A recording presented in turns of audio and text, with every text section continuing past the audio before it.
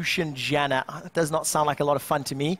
uh, I want to see how this early lane uh, matchups work out. But you guys at home, will G2 pick up a win here? Hashtag G2. Oh. doesn't know. No. He would, though. Oh. I wonder why he's up here. This is just going to be an And easy exhaust. kill. Exhaust into the stun. The Vault will put him away, but the knockback from Kikis. Two tower shots and first blood there. Emperor, they're in trouble. Both have flashes available. There's a response from G2. Teleport is coming down into the Tribush, and Nisbet is the first one to get stunned up.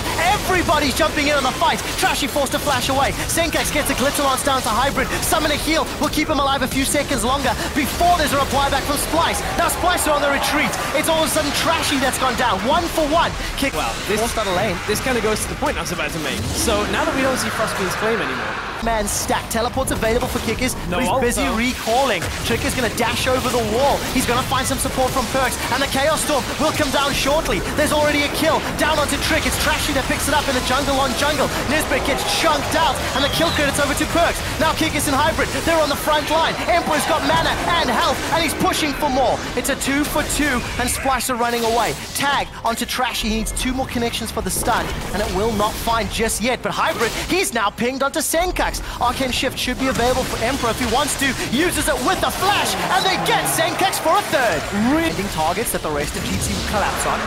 And it just allowed them to accelerate further and further ahead. Now Perkz, Chaos Storm is still available, throws it down into Trashy's head.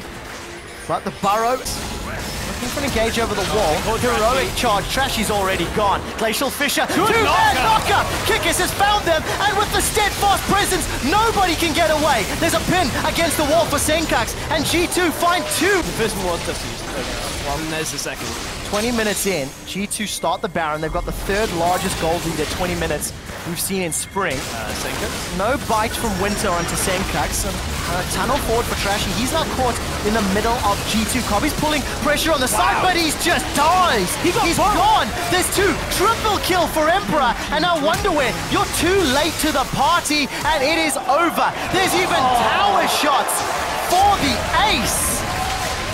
Health after starting a Baron, and Splyce come in for the fight, and G2 destroy them in the fight just because of how far ahead they are. And this all started from minute one.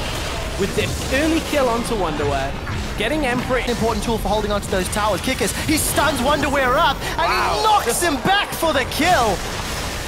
Solo takes Wonderwear out from the tower. The rest of G2, they know Sencux was healing. He's going to be late. Inhibitor will drop in the middle lane. The shortest win time in spring is 23 minutes and 59 seconds.